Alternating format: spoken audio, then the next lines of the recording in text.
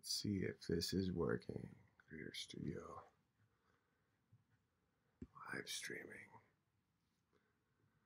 There she is. Miss America. What's up, y'all? How you guys feeling today? What's up, Bears? The unbearables are amassing. I love it. All right. Everyone good? We're streaming on my website and Vimeo and Twitch and all that stuff. I'm just going to maintain that. Just why not? As long as I can do it, I'm going to do it. But here we are. I'm at uh, the YouTube chat right now. Feel free to super chat or do uh, paypal.com slash feed the bear if you want to send one of those because I'm about to start uh, showing you guys some cool stuff. So I'm not going to be in the chat. So that's the only way that they kind of stay so I can see them in a second. Okay, I know I'm a little close to the computer today, but that's because I haven't had any work done on my face, so my face doesn't look insane. Like these people. Look at look at their faces. Okay, so Whitney Cummings does an Instagram post where she says, "So I guess this was just the best day of my life." At Caitlyn Jenner. Chris Parnell, Jane Krakowski. I don't know who Jane Krakowski is. I'm not bashing this chick. I'm not bashing anybody, to be honest with you. This isn't a bashing situation, but it is a bit of a critique. I think Whitney Cummings and Caitlyn Jenner have the same face. Like, it's really weird. And I don't understand what's happening with people's faces in Los Angeles. Amy was showing me this thing where there were all these uh there are all these uh, uh, what are they called? The Real Housewives of some shit like Beverly Hills or something. And over the seasons, you can see that their faces start becoming the same face, and it's weird when it even happens with dudes. You know, like like Caitlyn Jenner is biologically a dude and looks exactly like Whitney Cummings. They look like melted candles. And this isn't like a beauty bashing situation. I, I, I just don't understand. Are is there some are the AI trying to make us into robots or something? Like I, I don't understand. Chris Cornell looks like he just got away with some sort of felony sexual assault. And I'm not bashing him. I, I I have no reason to believe he's ever assaulted anybody, but it looks like he's whacking off in this picture. And no one knows. And that's what that smile's about. He's like, no one knows but me. No one knows but me. So I just want to bring that to everyone's attention that people's faces are becoming the same face. I think that like uh, the plastic surgeon doctor, they almost have like one face now. Where they're like, "Oh, you want the face, or do you not want the face?" And people are like, "Ah, what's the face?" They're like, "Caitlyn Jenner, Whitney Cummings, uh, the cast of all the Housewives." It's just the it's the only face. And if you want to look into it and get all trippy, it's it's almost like the face the the faceless it's the faceless nature of power acquisition. And and they touched on it in um Game of Thrones with the with the faces. You know, with the with the uh, uh, Arya her storyline about how you can just wear different faces. And um, I think that when you're in a certain culture and a certain mindset and you live a certain life, your face starts becoming not your own anymore. And it literally starts becoming a melted candle. And so I guess that was one of Whitney Cummings' greatest days of her life, was finding another melted candle and um, and just enjoying it. Just enjoying the the reflection in, in uh, Narcissus. You know uh, the the the story of Narcissus. The root of nar- uh, narcissism is he looks into the lake and sees the image of his own face and he falls in love with himself. And he dies because he can't leave the image. But this is the the part of the story that a lot of people don't know is the lake falls in love with its own image in the eyes of narcissus. So the lake is sad when when narcissus falls in the lake and and, and dies because uh, the lake loved looking at itself in the eyes of narcissus. So here we have the lake and Narcissus, and it's the greatest day of their lives. And some of you might be wondering, Big Bear, Why are you going uh, hard in the paint at Whitney Cummings? Well, A, it's because for no reason the other day on Bobby Lee's podcast, she just wanted to take a shot at me. And I'm not taking a shot back like it's some sort of sparring match. It just opens up it just opens up my ability of mocking someone that deserves it. The same thing happened with Anthony Jeselnik. People are like, "Hey, Big Bear, why are you going hard in the paint on Anthony Jeselnik?" Because he called me a racist for no reason, and then when I went to uh, ask him about it, he had blocked me on Twitter. So I revealed the fact that he has liposuction done on his ass. That's something I've known for a, a long time, but I don't just come at people unless they come at me. If you poke a bear, just know that what you are is it better be in line, which it won't be. Because if you poke a bear for no reason, it already tells me in, in the world that that uh, you're not in line and Whitney Cummings' face looks like Caitlyn Jenner's distorted face. They look like melted candles. So ask yourself before poking a bear, ask yourself, be like, before I poke this bear for no reason, does my face look like a, a space alien's asshole? And if so, maybe I shouldn't poke a bear for no reason. Maybe I shouldn't tell Bobby Lee that that Owen Benjamin has uh, become some sort of crazy conservative whack job uh, because he can't handle money. See that's the interesting thing about people that live this uh, faceless lifestyle is they think the world is only in terms of money. Me going more right wing lost my money. Like i lost tremendous amounts of money and i wasn't two broke girls rich. You know what i'm saying whitney? One of the worst shows ever made. Like literally one of the worst shows ever made. Like you can't watch it like a whole episode without being like what is this? It's melted candle wax, just like the faces of these people. And when they see the world in terms of uh, just money and power, you think like, oh, so did Owen get more or less money, and how did that affect his brain? Well, other people are motivated by what is true and what is right. And as flawed as I am and will always be, that's my motivation. So and then her and Bobby went on to talk about uh, how abortions are a great fodder for stand up and how Bobby has had two abortions with his current girlfriend and how sometimes it's great to talk about on stage and how Whitney uh, I don't know how, how many abortions she's had. I don't I didn't I don't remember that part. To be honest, I didn't listen to it. Uh, someone just wrote me the transcript. And then a, a couple other people wrote it to me as well. So I don't want to listen. There's no reason to listen, but uh, you know, when hundreds of thousands of people hear that shit, maybe they'll also hear my little take on their fucking stupid faces. I happen to like Bobby Lee, so it's not even that I have a big problem with Whitney. I just think her face looks like an alien's asshole. Like if, if an alien was made of wax and got a little too close to the sun, and then uh, a transgendered person started mangling their face with a knife that's kind of like what it what it all looks like. All right, so let's talk about some other stuff.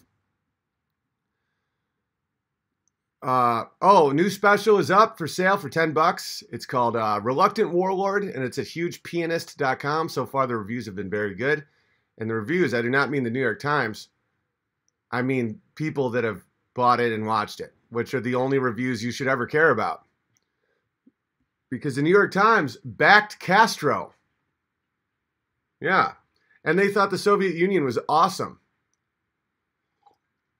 All right. I'm to, sh- I'm to, um, one of the dudes that came out to my Prosser show as well as my Bellevue show sent me this. He's in medical school and he said the SJWs are trying to invade medicine. They're trying to give everyone the same face. This is a hilariously pathetic.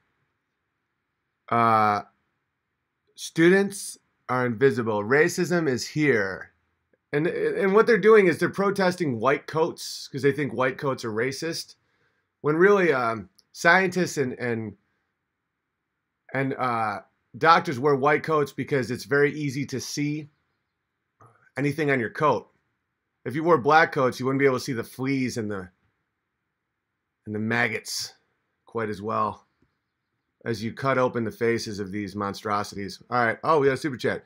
Hey, Big Bear, I've been watching you for a while and appreciate what you're doing. I need verification. I'd like to be Muffler Bear. Welcome, Muffler Bear. Uh, this is from uh, Luke.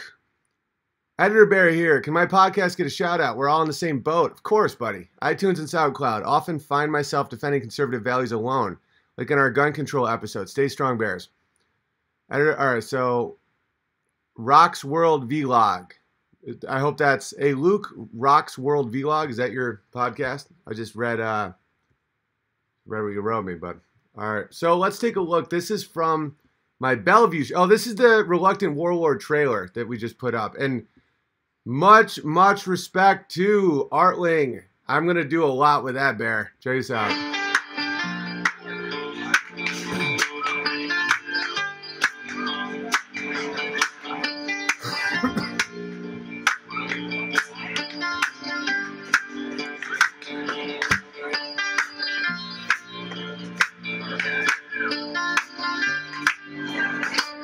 City of soy, baby.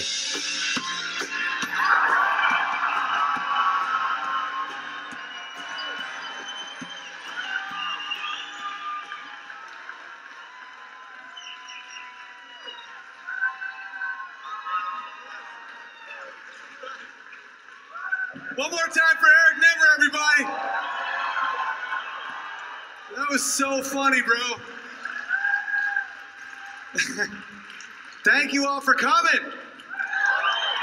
We did it. We put on a show. We put on a show. Couldn't stop the show, man. And uh, make some noise for the Redmond family for making it happen. Yeah. Legendary, because this is the thing. Because I, I performed in Portland a bunch of times. I've done Helium. I've done some stuff here, and uh, and then the social, the SJWs got got wind of me and started getting sad, and and uh, and so I'm, I'm boys with uh, Joe, and I was like, what's the one place where they would never go? I'm like, military truck and a place where men work. They're terrified of this place. All right, so you can get that at hugepianist.com. And uh, Coddington made me a, a better trailer. I just forgot to upload it. Sorry, Coddington. Uh, Rhaegar says uh, the guys who organize these protests aren't dumb. They, they're knowing, knowingly selling sophistry for a political career in the future. It just so happens community organizations are the yellow brick road to power. And that's absolutely true. I wanted to read that. That's in the normal chat because it's so accurate. But here's the thing people are getting sophistry only works when when it works. Sophistry stops working when people uh, become uh, aware of it. You know, it's like any charlatan snake oil salesman over the years. You know, back in the day, you could sell that you could make it rain with dancing and singing. So this this the way to stop it is just simply to explain why they're wrong and make it so culturally it isn't cool, and you won't um, get a good job or a good husband or wife or family from that horseshit. Yeah, you saw that with Michelle Wolf. Michelle Wolf did the dance, said complete nonsense, and then got her own Netflix show, which is worse than watching a beheading. It's less comedic. If anybody wants, this is my new thing. This is what I, I really enjoy is watching things as comedies, like the unintended comedy of it.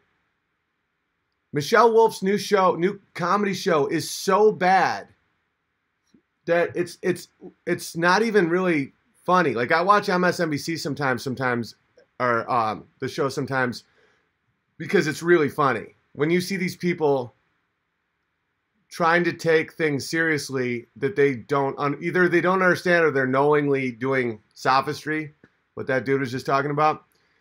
It's hilarious. It's as if someone, uh, like a car is smoking and and there's a wheels are off a car on the side of the highway, and they're like, this this no one knows why this car isn't working. They're like, it must be. I don't know. You know what I'm saying? They just come up with a thing that isn't accurate, and that's kind of like the start of comedy. Because, uh, for example, look at this guy. I saw this pops up on my Instagram sometimes. These ads for Masterclass that says Judd Apatow teaches comedy. You will learn more about comedy by watching a squirrel trying to rob a bird feeder. He'll fall and you'll play. If you just watched a squirrel just try as hard as he possibly can to get seeds from a bird feeder, you will get bigger laughs than watching Judd Apatow. Judd Apatow is to comedy like soy is to a man's penis girth. It it it shrinks it. This dude isn't funny. He's never been funny. He's had a couple moments in a couple movies that were funny, but it was only because of the the uh the performance of the comedian. I think he's an absolute something's going on with this guy.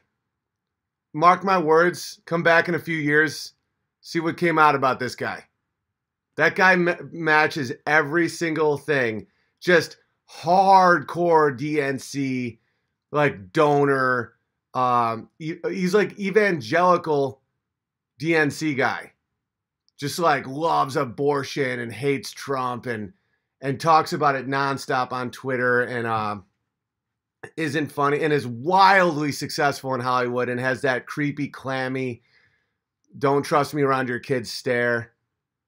I mean, look at him. Would you let your kid like get a ride from that guy like to school? I wouldn't. There's no chance. No chance. So we'll see about that guy. We'll see about that guy. All right, here's a little clip that happened in Bellevue. If you guys want to see uh, something that started is kind of scary for me and then ended up pretty funny. All right, let me see this. Is this the right one? Is this the right one? Hang on a second, gents. I don't know. I was like riffing the last part there. One more request and then I'll end. What's that? Like the actual song? Ah, I yeah, okay. They were so passionate that I will. I won't do the whole thing because it's not comedic. I'll play it. What's that, buddy? Oh, I don't remember the words, man. I write shit every day. I do two hours a day. So it's like there's no way I can remember that or else I'll give it a shot. Give it a shot. What's that? You got the lyrics? Get a little aggressive. I'll, I'll do at least a verse.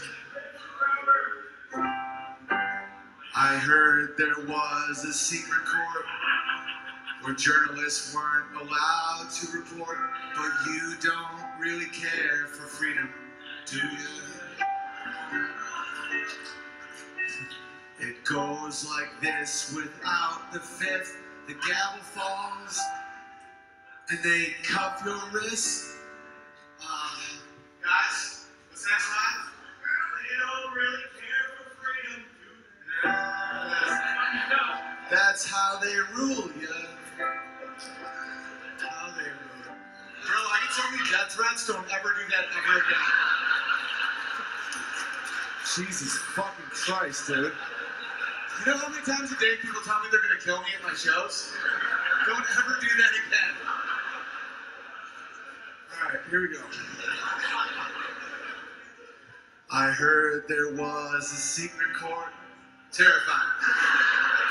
And especially if you have a fucking beard.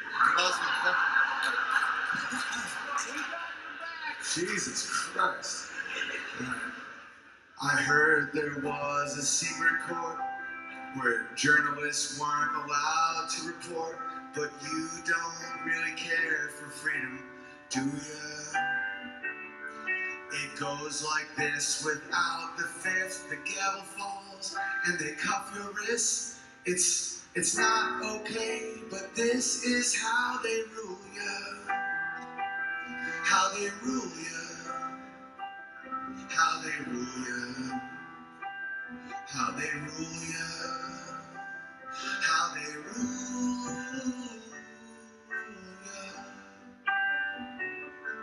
But Tommy has been here before.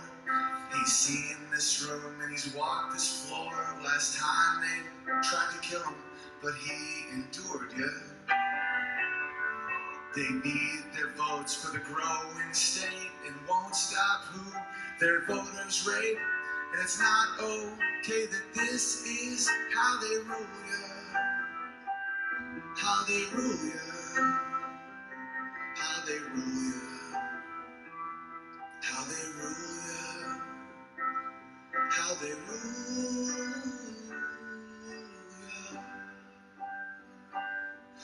There was a time the press let you know who's really coming to your shores, but now they don't tell the story ever true, yeah.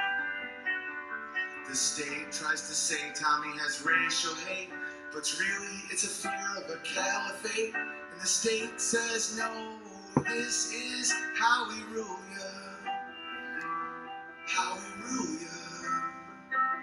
How we rule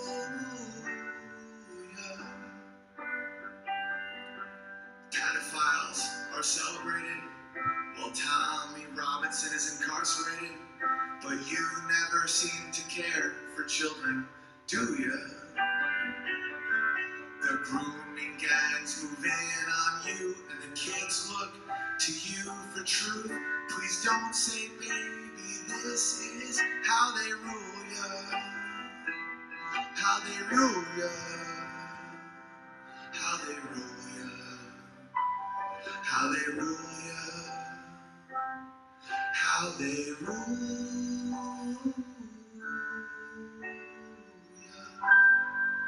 Tommy Robinson.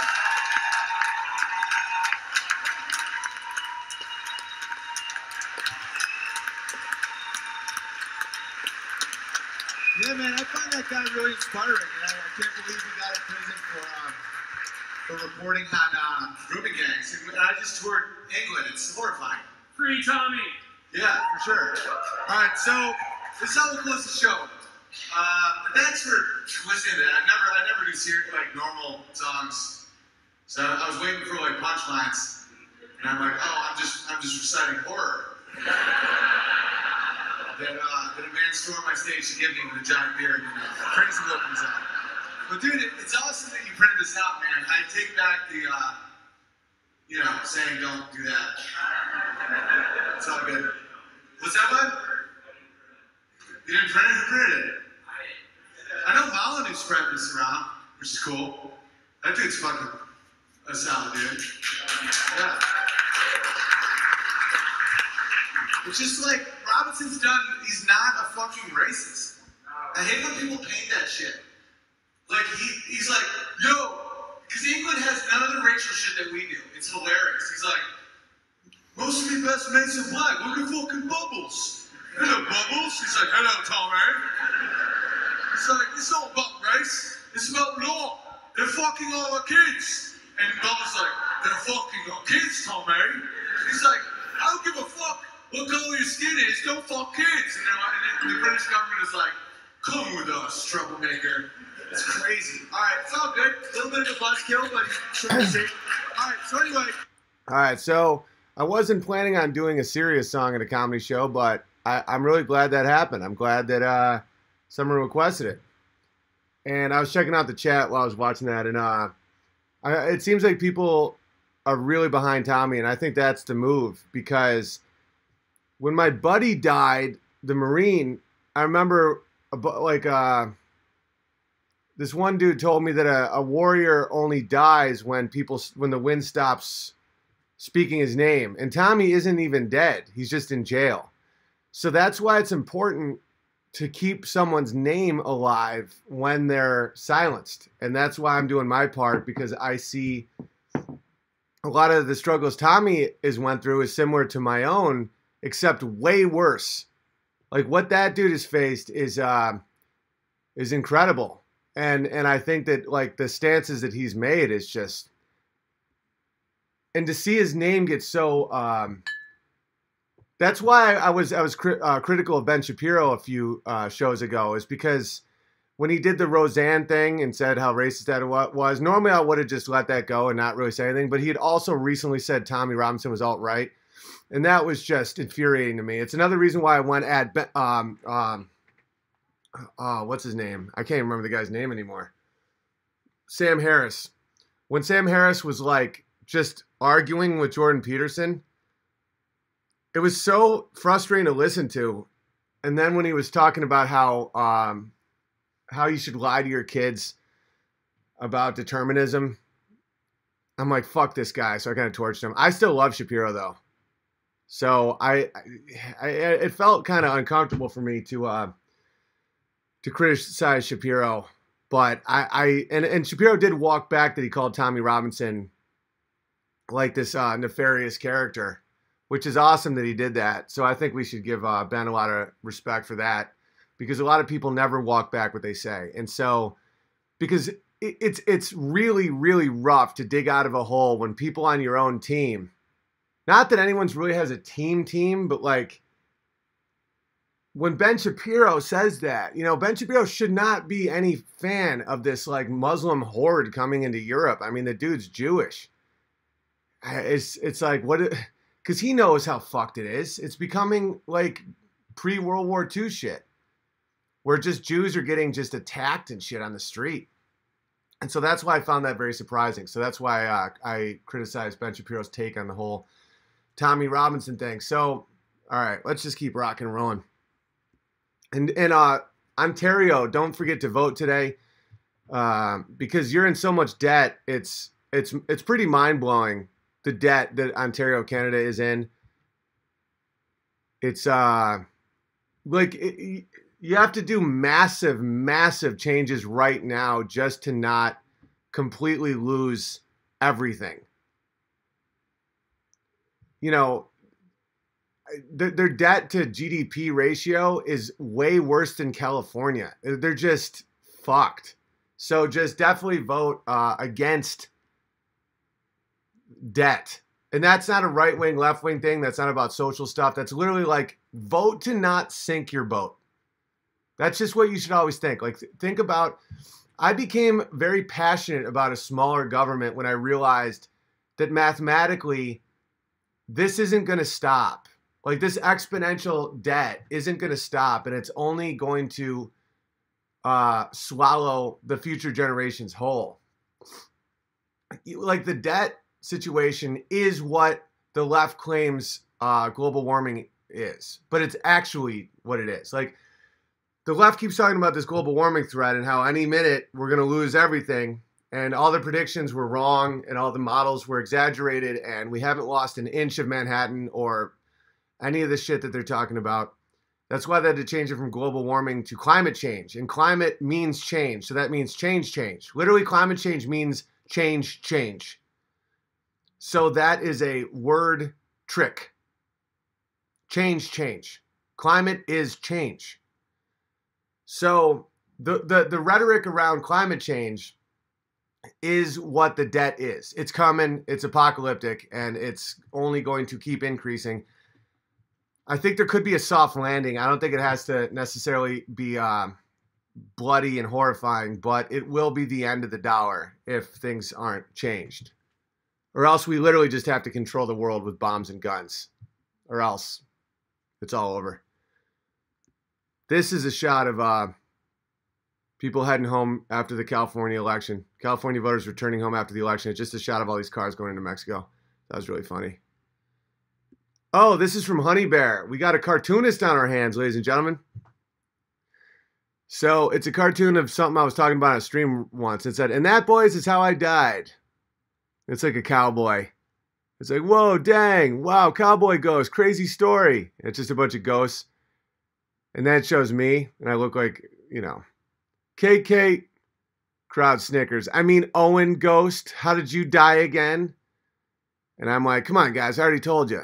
My teacher made me wear a dunce cap until I conformed to his way of thinking. And then I died of starvation. And it just looks like I have a, a Ku Klux Klan cone on my head. And they're like, right. It's not because I hate the Jews. And they're like, ah, it's. I think that's funny. Pointy headed, pointy headed ghost was in my special feed the bear. Oh, and I just uploaded the entire Bellevue show for free on YouTube. So watch that. F- feel free. There's some jokes in there that need some work because I'm now working on another special. Um, but it's it's a high quality show, and if you like it and you want to feed the bear, go ahead and buy the other one I just uploaded to Vimeo. The uh, for ten bucks, the uh, Reluctant Warlord. That's the one shot in Portland. And I was talking to the dudes who own that that woodworking shop, and I was like, and they're like, we got to do it again we got to get more dudes. We got to get another comic. And I asked him, I was like, who's your favorite comic right now? And this dude was like, Dave Smith, my boy who was on this stream that one time. And I was just texting with Dave yesterday. He watched um, that Tommy Robinson Hallelujah clip. And he's like, I'm not going to lie, dude. I, I kind of teared up a little bit. And I'm like, I know, right? That song fucks with you. Like the Hallelujah song is the, is the perfect amount of sacred and profane. It has that little bit of edge of like, it's not a cry you can hear at night. It's not somebody who's seen the lights. A cold and it's a broken hallelujah. Like that's a pretty aggressive line, but at the same time, there's reverence in it. There's a there's a holiness to that song. Well, at the same time, there's a little bit of a bite, and that's usually what what gets me emotional. You know, it's kind of like the first three minutes of the movie Up. Devastating to me because it has enough of the beauty of family and enough of the devastation of loss that I just can't even watch that that that beginning of Up is just, oh God, can't even think about it without getting a little jammed up. This is pretty great. If you check out Wikipedia, I don't know who did this, but it's fucking hilarious. Saranac Lake, New York, artist residence.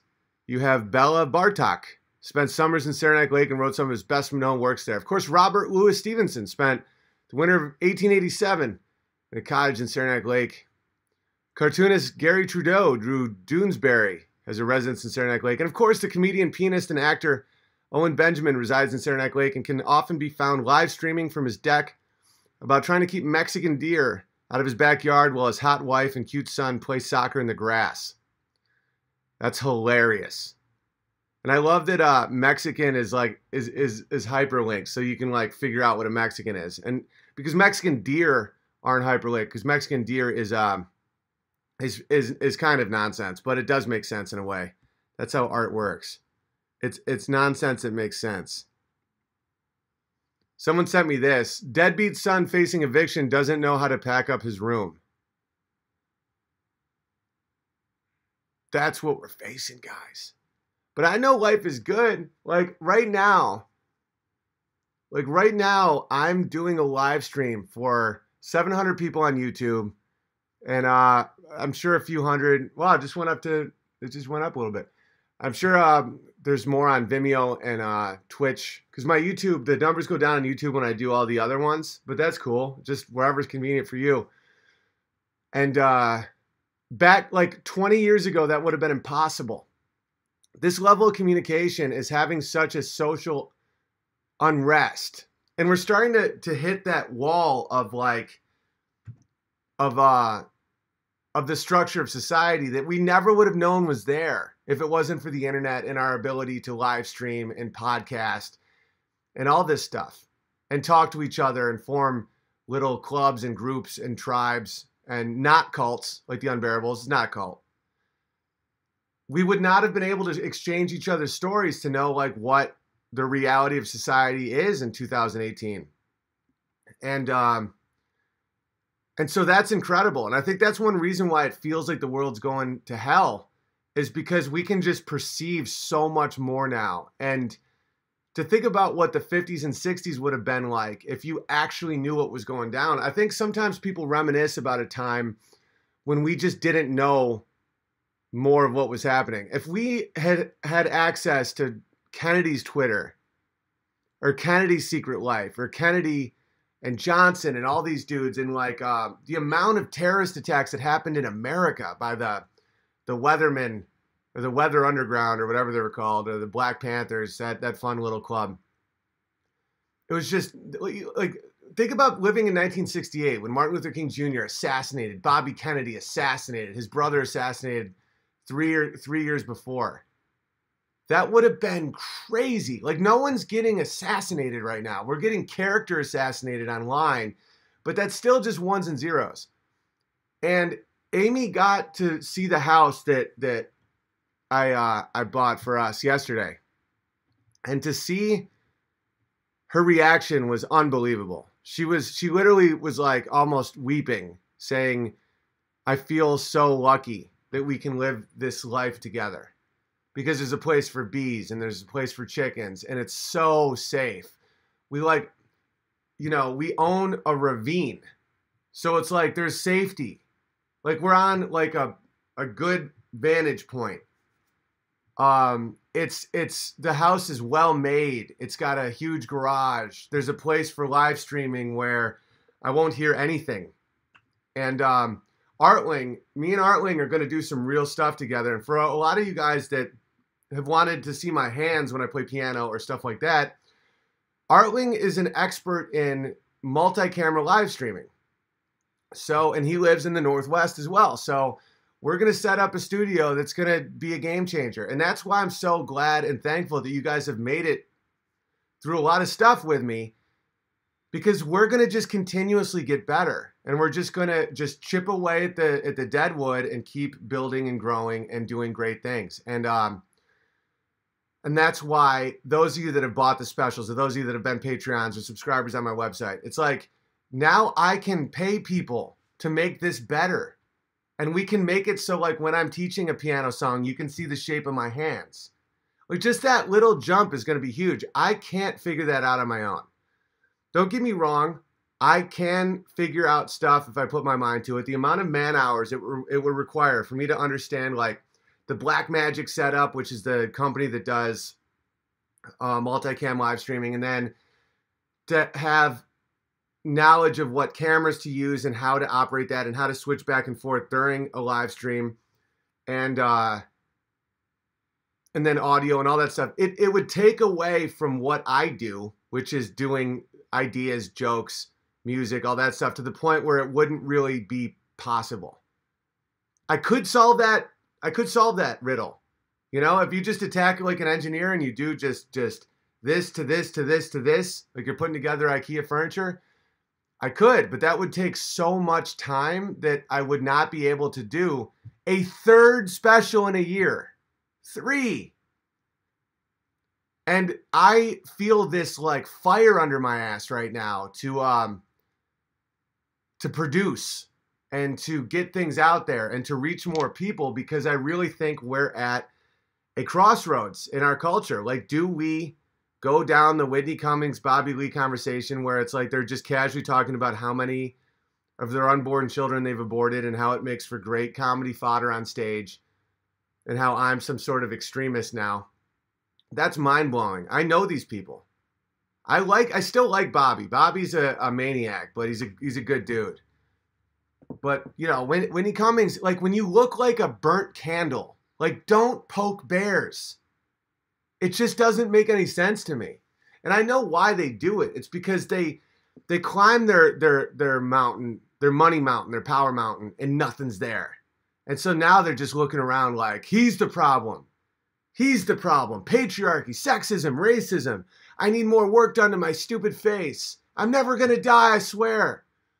I'm gonna die alone. I'm never gonna die. I'm gonna die alone. You become this this uh this this spinning top, and when it starts running out of momentum, it starts wobbling. You know, or a flawed gear, like the gears when there's like just a milli tiny little bit off, and with every rotation, with every revolution, it gets closer and closer to just destruction. That doesn't have to be your life. That does not have to be your life. If you pursue the material, if you pursue prestige, if you pursue power, over knowledge or truth or respect or family or uh, shared ideals, community, stuff like that, you will become a top that slowly stops twisting until you fall down in a disastrous display. Michael Jackson died horrifyingly. He was so out of place in reality that he was giving himself drugs that you give to someone about to have surgery. He had mangled his face until he tried to look like Elizabeth. Uh, what's her name? That lady from the Diamond commercial. Like he was a mess. He only related to children, and he wanted to have sleepovers, and he was having these like roller. He was the top of power, the top of attention, the top of money. And he was pissing all his money away because he was a child. So when you go after that stuff, you end up broken. And there's different degrees of it.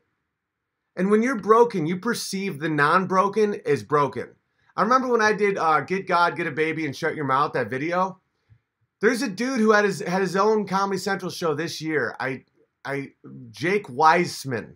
Weisman. One of those, one of them Jew names.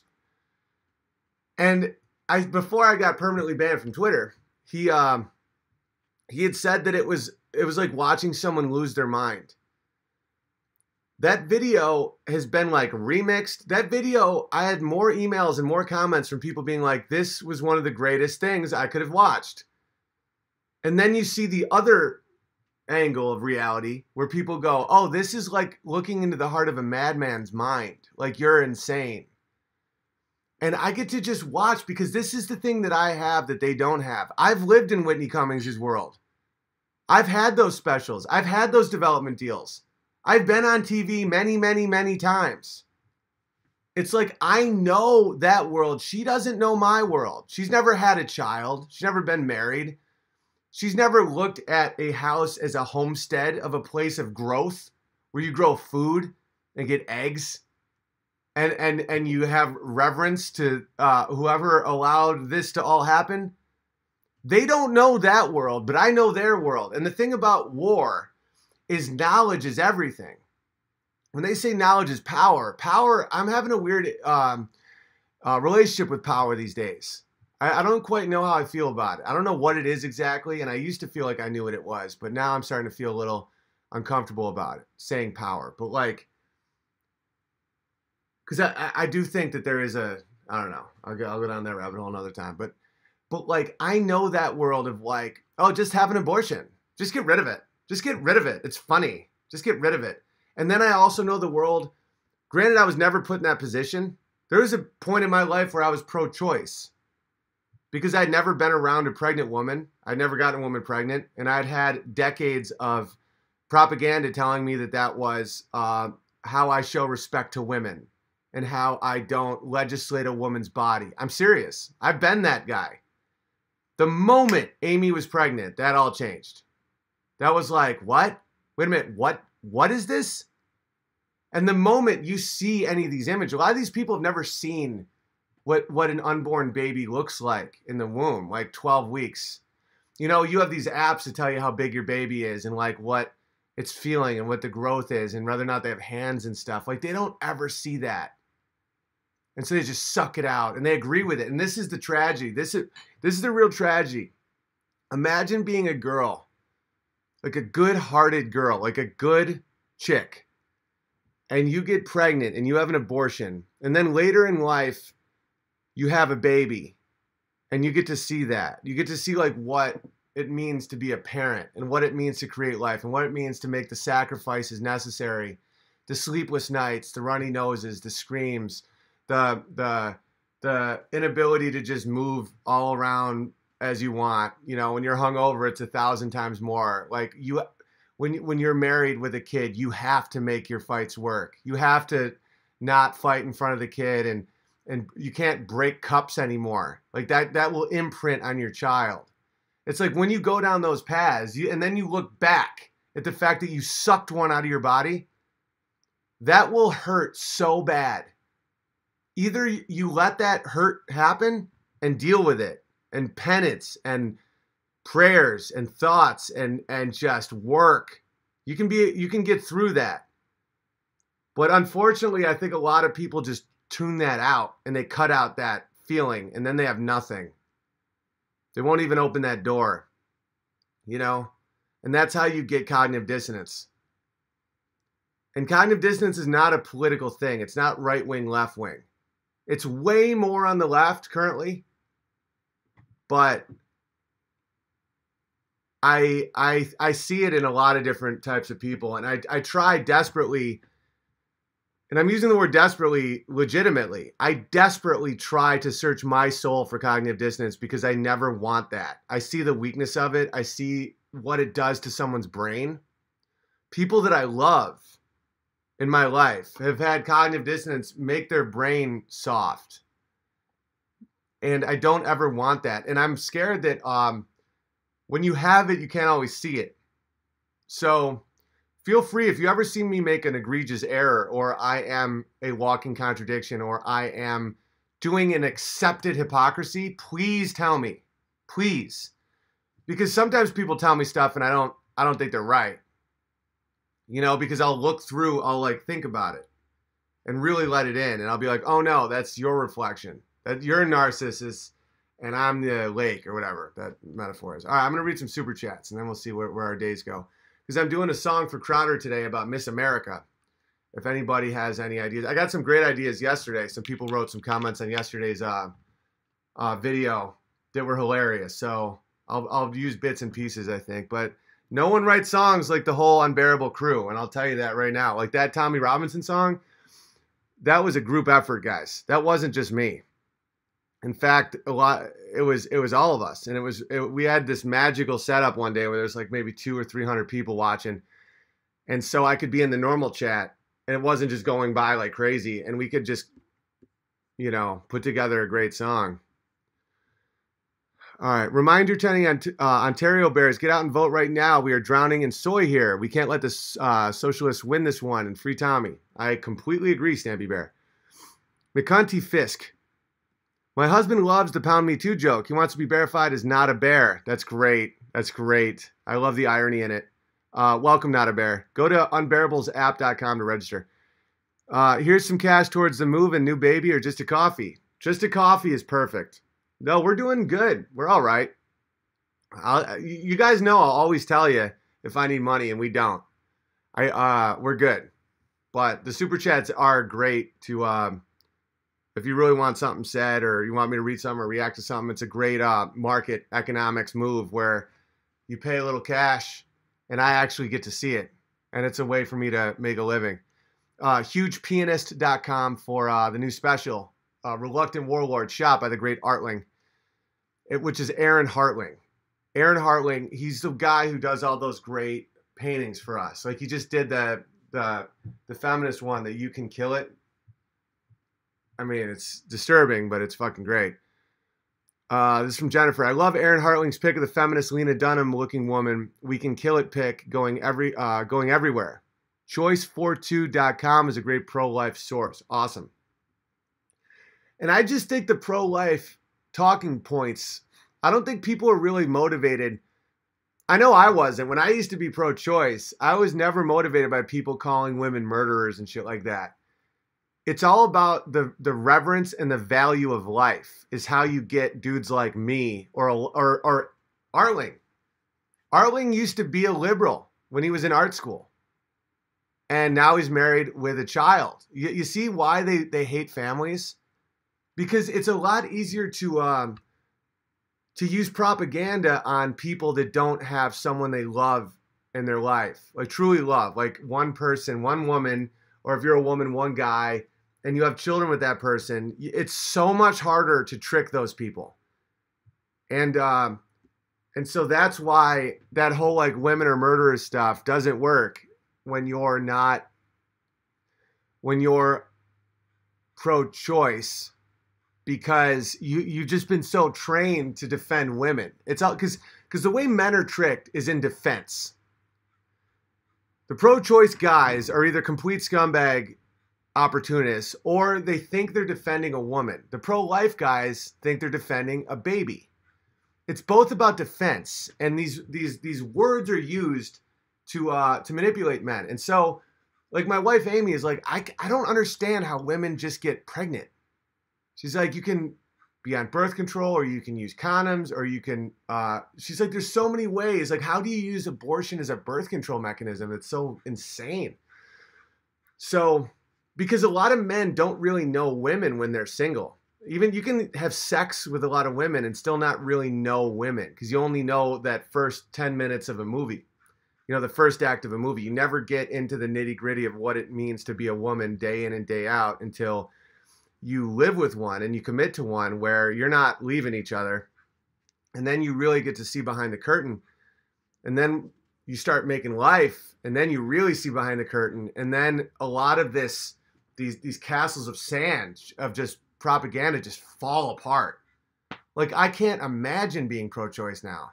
And that isn't because my love of women has declined and my my my degree of wanting to protect women has declined. Quite the contrary. I, I think that women that have had a bunch of abortions and end up not settling down with a guy and just live a life alone, working in some cubicle, you know, chanting in their little heads like, close the wage gap with just this rotting pussy hat in their desk. And all those women, they either just went their separate ways or they got their own families and and uh, and changed their minds about stuff. And you're just left alone in this little cubicle, just waiting to die. You know, your cats start to die. Um, you're built nothing. There's no empire. There's no. You don't come home to anything. You come home to what's on TV. Like what's what's going to reaffirm your your flawed logic. Like what new Comedy Central show or HBO show is going to let you know that your life choices aren't horror shows. Now, I don't want anyone to tell that woman she's a murderer. She has enough on her plate. I want that girl to know how good life is before she makes that decision. You know, and that's why I like to to be so open about my family and and the beauty and the struggle and the ups and the downs because I don't know that many women that wouldn't see that and go, "Oh, that's way better than just aborting and then going on all these auditions." And then I have to once you once you kill on the on the on the on the what not a mantle, what else? And the altar, the altar of, of power. They own you, you know. Then you got to keep going, and then you lose your face, right? Like look at this, look at these faces the faces look the same. How do you like Whitney Cummings? She's a cute girl. Bruce Jenner was like a masculine man. And now they have the same face. It's right out of like a parable of, of why to live a good life. And then, but the thing is, is you can look into the, uh, you know, Narcissus can look into the lake and see himself, and the lake can look into the eyes of Narcissus and see itself, and you're in this trance the, the, this this hall of mirrors that can't really break. And then what do you say? You say, "What a great day! This is the best day of my life that I got to look in the eyes of of real power, you know, of power. Bruce Jenner power, like like someone who's willing to cut off their own cock and balls." To avoid a manslaughter charge, you know, probably all tweaked out, their brains all tweaked out, probably from a combination of doing steroids for um, for um, the Olympics you know, endocrine system is shot, most likely, some sort of training problem.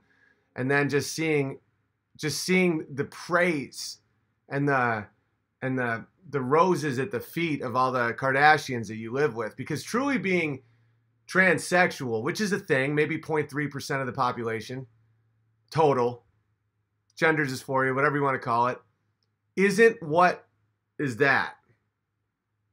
They don't dress up in fancy princess outfits and and take bubble baths with roses and pretend that they're like, oh, it, it's it's a little more literal. It's a little more real than that. That's almost like some weird um, fetish where it's almost like cross dressing, where you, you cross dress to feel like a, a, a pretty princess. That isn't what transsexualism really is. Like gender dysphoria is a little more real. Like you feel like you're trapped in someone else's body. And that's a horrifying place to be. And it isn't about role playing a caricature of what the other sex looks like. Like a 60 year old woman isn't dressing up in these like World War II pinup outfits and being on the cover of magazines. Like, look at our mothers. Like, they're not doing that. Like, like my my mother in her 60s was not being like, "Hey, world, Caitlyn's here." Like, that's that's a caricature. That's almost like acting like a 14 year old. There's something real creepy about that. It's almost like um, Fifty Shades of Grey. How how the woman had these like characteristics of uh just a newly pubescent girl, and that's uh that's not what being a woman is. And and that's one thing that that used to bug uh, bum me out about Louis C.K. is the way he described his wife. How he described her as like thick and tough and stern and sturdy, and how he really was just whacking off in the basement because he he's like she's just weathered. It's like how fuck you, man, you homo. You know, that's what a woman like a woman is sturdy and strong. Like that's kind of the deal. Like if you just want these like, "Hey, I'm new around here. I lost my balloon." like you're a fucking weirdo. That's uh, that, that that's why these people are just playing uh, power make believe. It's fucking creepy as shit.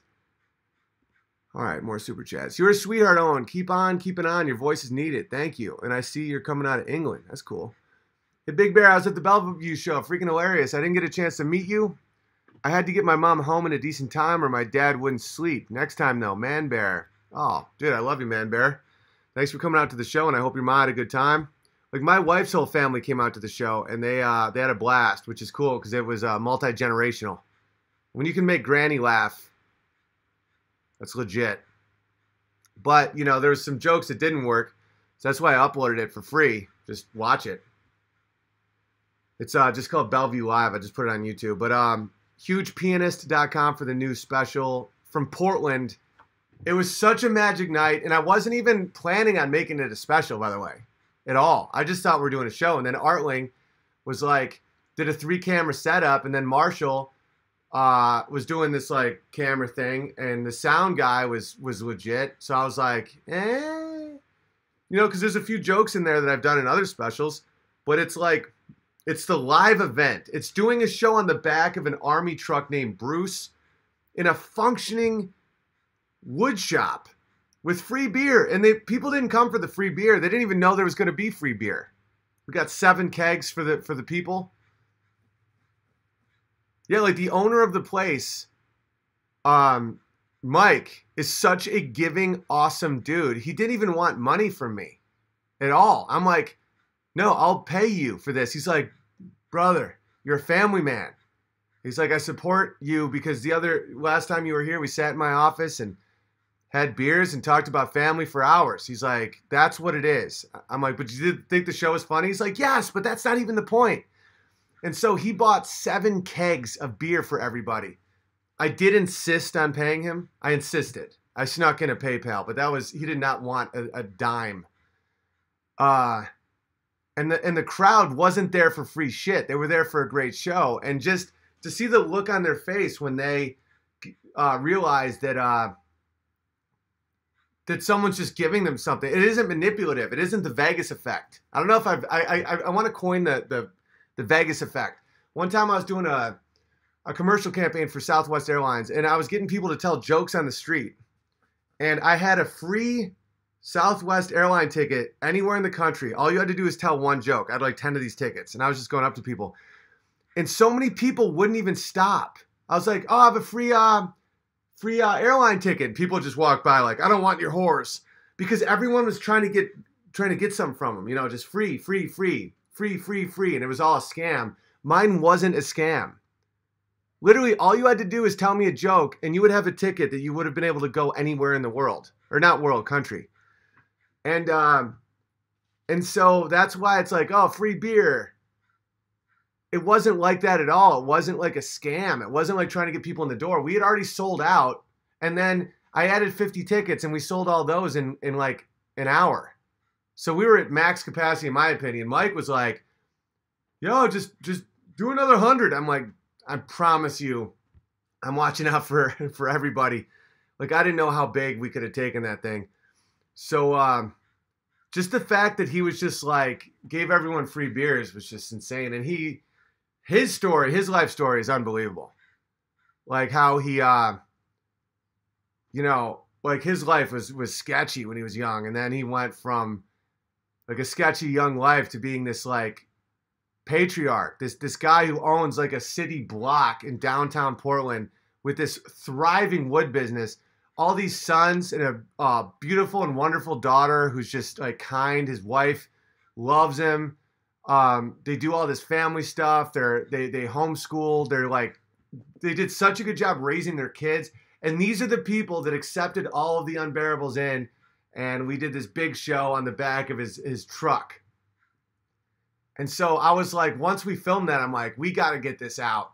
And so I'm going to sell it for maybe two months, and then I'm just going to put it on YouTube. So if you're running low on cash, uh, it's all good.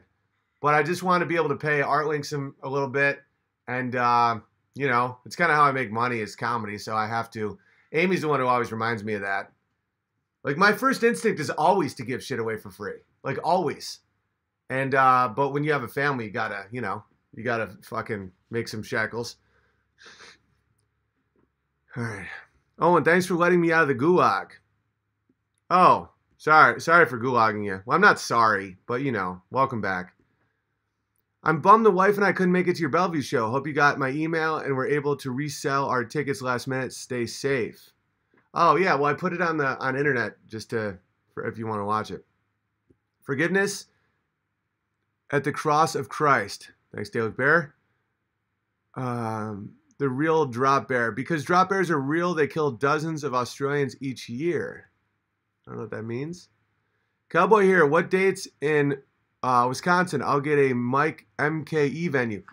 Yeah, uh, this is the thing I was going to talk to you guys about. I'm I, I, first week of July. I'm driving across the country with uh, my dogs to be in Seattle, and I figured if I take a north route, I've been get you know, uh, for those of you that are always on this thing, a lot of North Dakota seems to like the bear. So I want to hit Fargo. I want to hit something in Wisconsin, maybe something in Idaho, maybe something, maybe Detroit. I want to take a, a, a path across the country and get a couple shows in. So uh, comment on here if you know of any good venues that uh, are down to do something that that soon, because that's coming up soon. And uh, yeah, let me know because I'll get that going. And thank you so much for the opportunity to perform with you twice. Bellevue will always be a special memory for my daughter. That's from Donnie. Yeah, Donnie just started comedy, and I gave him two just phenomenal sets. You know, I'm like, when I was that was like his fourth set, and when I when it was my fourth set in LA, I was uh, you know, performing on a functioning bar in front of like just wasted, fucking people. Just either they don't care, or they just threw stuff at me. So for Donnie, I'm like, yeah, go ahead, go out there. This packed packed house of like-minded individuals ready to rock. So I'm glad you got to do that, and I'm glad your daughter got to come. What about women who never have a husband or a baby? What are we worth to your society of the future? Um, that's that's not an issue at all. Like that's like saying, what about a guy who never owns his own land? That's fine. Uh, and I don't get to make that decision. Like I'm not the one who says like you're worth this amount to society. That's a very leftist collectivist way of looking at it. I think that that um if you don't have a family, you miss out on something in, in life. Some people think that about boats. You understand? I'm not telling you how to live. I'm just saying that um, everybody has value to society on some level. But I don't know your life. I don't know what you bring to the world. I don't know if if if you're nice to people or if you're a fucking asshole. But the fact that you super chatted means you're probably really nice to people. So I don't know. Some people just can't have kids. Some people missed out on their opportunity to have kids. Some people uh, don't want to have kids. And I found that the ones who don't want kids don't really seem very offended by what I say about this. You know, like I know some women that just never had an interest in kids for whatever reason. Just like I, they just didn't. They're like, I just don't like kids. And uh, so when I go on these rants, they're like, yeah, right on. Most women I know would would really love kids. That's that's right on. They just don't seem to really get that like weirded out by it. So I don't know your situation. I'd love to talk to you more about it, but uh, obviously all humans have value. That's kind of the point of my whole thing. I was talking about is uh, why I, I stopped being pro-choice is because I saw the inherent value in all humans. And so when it's compared to the death penalty, that's so crazy to me. It's like, so you're comparing an unborn baby to a serial killer. One has done horrific things. And don't get me wrong, I'm not even for the death penalty just because I think the state fucks everything up. But uh, if someone does horrible things, they, they should be punished on a gradient, like on a scale of how much they should be punished, whether it's whatever. If someone rapes a kid, I want to put a bullet in their fucking head. If someone is simply an unborn baby that has done nothing, that has not killed anyone or done anything hor- horrific, how do you think that that's a death sentence? That's what really freaks me out about the left is they think that like just existence should get a death sentence if you want it to. That that's the level of power and control they want over us, where it's like, if you see no difference between a serial killer on death row and an unborn baby, where it's like, well, you're pro, pro, um, you know, pro death penalty, but but you save all the babies. It's like, yeah, one group of people are horrific criminals and the other aren't. Oh, I forgot. You don't have any morality. So you see the murder of a baby is the same as murdering Ted Bundy. Because there's no ethics. There's no way of judging the difference. Like they're both just beating hearts if you're fucking awful and crazy. Thank you, Vincent. Great name, by the way. Guess who? Emailed you a link to a pop punk parody song I made. Wanted to make sure it went to the right email. Why didn't they laugh at Gmail? Yeah, that's the right one. I'll check it out. I do have to go. Today's going to be a shorter one because I'm making a show, uh, uh, a song for Crowder. If anyone has any ideas for a, a Miss America song, because Miss America is no longer judging beauty, uh, comment in the section below. And uh, again, hugepianist.com for the new special. Uh, Reluctant Warlord 10 bucks. If you want to see the new my show in Bellevue, you can check that out. I just uploaded it to YouTube. Make sure you subscribe, hit the like button, hit not, uh, hit the notification button, and uh, I think bye bye Miss America's dies. That's funny. Oh, thanks, Vincent. Hit the like button. Yeah, crush the like button. Like button's big because because I to get into like other people's eye line you got to uh the left made it expensive. Oh, and I sent you an email. Oh, sweet. Jordan B. Peterson's overall point for confidence or competence. Oh, I saw that, Lin Yen. I read a lot of your shit. I just don't always I, I can't always write back. You are so burkable to me. Can't you see? You are so burkerable. When my mom started out as a lawyer, she was told she was making taking men's jobs, also in law schools. Well, here's the thing about that I saw Hillary Clinton. Um, oh, by the way, that's that's kind of the people saying that are kind of right. Just to let you know, the fact that women now do all these jobs is why women have to work and why no one raised the kids and why the kids are fucking psychotic now. So just to let you know that there was a point being made there that all the economy just adjusts to how much money a family makes. So let's say you have two lawyers and everyone's all rah rah where it's like, oh, you're taking a man's job, and they're like, no, empowerment, right? So let's say a bunch of families start doing that. Now all the prices of everything just inflate so that you can't have stay at home moms. So that's great. That's awesome. That's awesome now that, that now women have to work and be moms. So they're going to be shitty lawyers and shitty moms because you can't possibly do both. You can't be a lawyer and a mom. Our son Walter got bit in the face by a dog yesterday right? Just blood. You know, the dog's getting put down. It's it's my my wife's family's dog bit Walter in the face. It's getting put down, right? That's with the stay-at-home mom. Imagine without supervision. He's all right. He's a tough kid. We, we, we came to the conclusion that Walter's like crazy tough. He got bit right here. So he's got a scratch here. And it looked like he needed a stitch on his lip, which is cool because daddy has uh, had a, some stitches on his lip. See? See right here? But uh, so we went to the emergency room to see if we should uh, get him a stitch.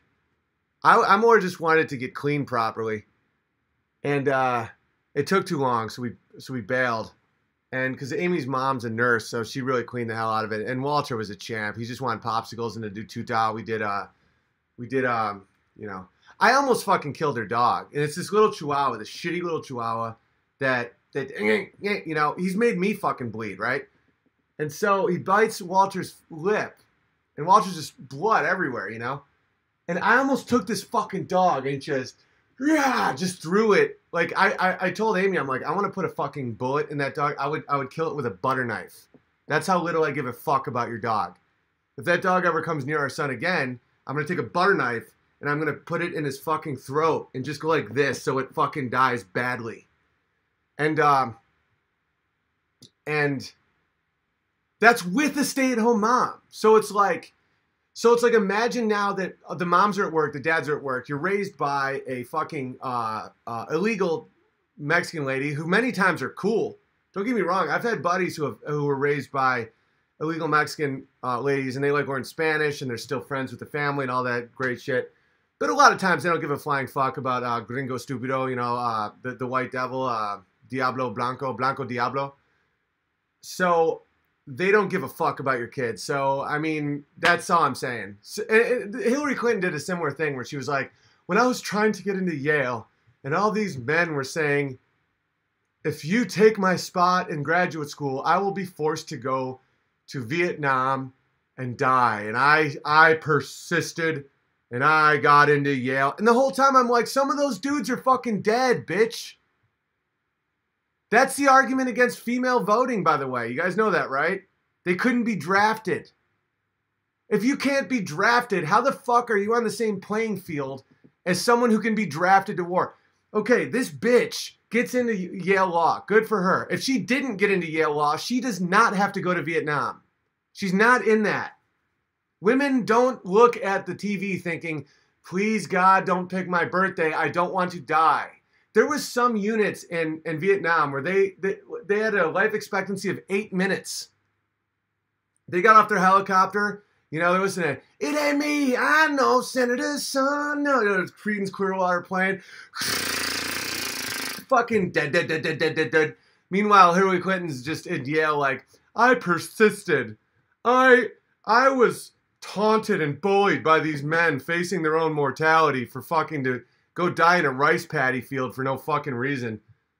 Just to be cannon fodder for the wealthy. So yeah, it's complete horseshit.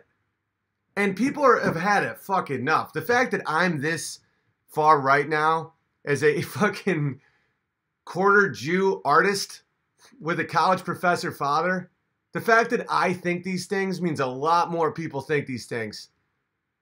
So to stop communism? No, the you know the irony, of course, is Vietnam infected America with so much more fucking communism than we could have possibly imagined.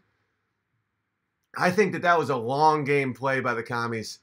Don't get me wrong, fighting communi- communism is very, very important, obviously. But it was almost like what Hamas has been doing with Israel. They're, they're running up to try and get that shot of like, well, what did Roy say? If the dog isn't bigger than my foot and can't hunt, then it isn't much more than a glorified rat. Better off with a cat. Oh, of course. So it's like what Hamas is doing right now in Israel. Like they're running up, setting fire to kites and shit, just running up trying to kill Dolev and Ben Shapiro, and uh, and they want to get someone shot. They want to get that that picture. You know, they want to get like a shot of like an Israeli soldier just shooting some fucking Palestinians. So they, it's the same with the civil rights movement with uh with that sheriff or whatever, with, with that kid with the dog. That was all staged. And by the way, that isn't a right wing conspiracy theory. Listen to Malcolm Gladwell's episode of Revisionist History all about that event. They interviewed the kid who's now a grown man about uh, having that dog attack him. And he's like, the dog wasn't attacking me. That was a complete bullshit. So what what Vietnam was all about is getting those images of America, the stormtroopers, right? Military, we defeated North Vietnam. That's true. But at the same time, we didn't because it was the multi-headed Hydra. It's like they wanted the shooting, they wanted the blood, so that they could paint it on our fucking media and say, and that's why why the '60s went to shit because all these fucking hippies finally had something they could use with the general population and say like fuck America. And everyone's like, no, we like America. And then they would show a picture of like a little kid's head getting blown off and like a fucking um, American soldier because they, they hunt and pick like what is the image you use. And so, and the commie media painted it on our vets. Exactly, exactly. Our vets are going over there, risking their life, uh, doing what they had to do for their country, called to service. They did what they had to do and then the media used them as pawns, like right out of the Hunger Games, to like just get images, images, images, and then and then so when they come home, people are spitting at them and calling them baby killers and shit, and they just tried to survive. We all have warrior zone. We all have warrior mode. Every single one of us is capable of killing a kid in war. I mean, that's just something you have to accept. Or you can't be a good person. Uh, the war started on a lie. Totally, totally, Pender. Um, wow, what's Sarah saying? I gotta, I gotta go here soon though. Sarah, So gay dudes can change gender and start answering questions meant for women and start marrying straight men without telling them what they used to be and get sympathy from everyone and special. I know, it's fucking crazy. You have no country without the military. Of course not. I'm not saying anything anti-military. It's this is this is strategy, long-term strategy. It's like when when a chick wants to provoke a dude just to like have him freak out so that she can like break up with him. Where she's like, "Oh, DeAndre here, I bet he has a fucking huge thick dick." And the guy's like, "Becky, what the fuck?" It's like, "You're abusive, you're abusive." And then and then she gets to break up. That that's basically what happened. And yeah, without the military, there is no rule. There's no uh, there's no uh, land rights. Like the fact that we own land or a house, it's it's backed by the American military. It literally is like because they're like, okay, no one is taking our shit. Don't get me wrong, there's a pimp element to it. Uh, like they, they make us pay taxes, obviously, but the military goes where it's told and does the job, do or die, not to reason why. Right.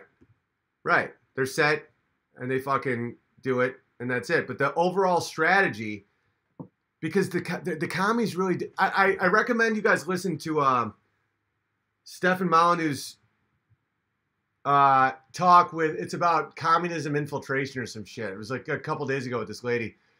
The commies came in here in this fucking weird, creepy way, and uh, they've been rewriting our history a long time. Like, you ever think, what if the Nazis won? Well, what if the commies really did win, and how they rewrote everything since uh, World War II? That's that's real, dude. Like we really are rewritten by communists. All right, last uh, last super chat. Everyone knows it is a baby to different levels. Even the media will contradict themselves whenever a celebrity gets pregnant. They will talk about her baby bump. Love you, love your stuff. God bless you, Owen. Oh yeah, and it's also uh, and it's also uh, you know when they're like life is sacred when they're talking about the the Mexican babies and stuff. They're like how could Trump be so cold to life? It's like, well, a week before you would have sucked its fucking brains out with a vacuum cleaner, you sick fucks. But then you realize it's not they never want to not contradict. They don't give a fuck about contradiction. Look at these people. All right, look at it. Like they don't have faces. Like they don't have a face. If someone doesn't have a face, that that means that they don't give a fuck about what opinion they have. Like Caitlyn Jenner and Whitney Cummings could just go and just switch faces and be like, today I'm a special lady. It's fucking gross, dude. So, just quick message. You know, if Whitney Cummings wants to keep poking bears, she can, but I will poke back. And, you know, I don't have a TV show, but every one of these gets 15,000 views on YouTube and then 100,000 uh, listens on, on the podcast. So, oh, by the way, uh, Podbean, iTunes, uh, Stitcher, all that shit. Uh, it's called Why Didn't They Laugh if you want just the audio. I might put up uh, the audio for um, Reluctant Warlord for free on, on my podcast because I'd like to get the jokes out. I just have to make a fucking living. Um, all right. So hit the like button, share. I got to get out of here. Uh, look up Pallywood. I don't know what Pallywood means. Everyone should have to serve for a few years, male and female. Yeah, that if you want to vote. I just think, well, the fact there's no draft right now makes it a little easier for the argument that women should vote. Because I think women should vote on an equal playing field, though. It has to be equal, or else you can't have a protected group of people voting the same as a non protected group of people. It's one or the other. Either you're cannon fodder like us, or you're saying that, that men are not equal to women, that men are cannon fodder because you get to make the decisions. You get to vote on whether or not we go to war when you don't have to go to war. So that's why uh, women's suffrage actually had an argument against it, a valid argument against it. And people are like, "Oh, Owen Benjamin doesn't think women should vote." If if one group of people is excluded permanently from war, that's people made fun of Donald Trump for that because he didn't go to war because he had a rich dad and he got out. Same with they, they same with um I don't know, Clinton I guarantee never served. Obama never served. You know, there's a group of elitists that never have to serve. So you look at those guys and and the left is outraged. You know, it's like these people are above Okay, so all women all women have never had to serve. don't get me wrong, men have never had to uh, give birth. I get, I get, I get that. But at the same time, women never had to go into a fucking coal mine. Like we, the bottom line is, men and women are so fucking different that if you want to have equality under the law, you have to do some pretty monstrous things. I don't want women to be cannon fodder. We need moms. We need fucking uh, healthy, happy, protected uh, women. I don't want to see women run into a field and be gunned down. That would be fucking horrifying. I don't want to see men have that happen, but for some reason, it's it's it's just worse for women, in my opinion. I don't know why. Call me old fashioned.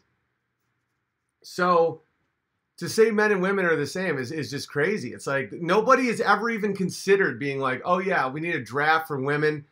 Just just drop them in the jungle, and hopefully they don't get any fucking uh those things called Puget st- or uh those booby traps. They have these Puget sticks or some kind of sticks they used to put shit on them so that you would get like uh, if you didn't die right away, you got uh, you got these horrific diseases. Punji sticks, yeah. I have my rifle, shotgun, and handgun at the ready. Yeah, I, I met it. Uh, punji, that's it. Punji sticks. I always had pride in the fact that my country didn't require military service. Yeah, I, I don't I don't think we need military service personally, but sometimes just given like this shit, this is the shit that makes me think we need video ser uh you know, what is this? Oh, like the video, everyone. Listen to Lev. She's currently in uh, Israel getting fucking flaming kites thrown at her. This shit. This makes me think we need military service. Deadbeat son facing eviction doesn't know how to pack up his room. Like that shit. But at the same time, I'm glad I want to be able to protect the artists and the sensitive and the and the and because there really is a, a population of people that that require a little more protection. They're a little sensitive, and you want to have your artists and your inventors and your delicate people, and you want the warriors to be able to protect the delicate. But at the same time, it's like fucking you don't know how to pack a room. Jesus. All right. So, new special, hugepianist.com. Thanks for hanging. I will be, uh, I'm traveling tomorrow, so I don't know if I'm going to be able to do a live stream. I'm going to try. But uh, I'm heading back to New York tomorrow.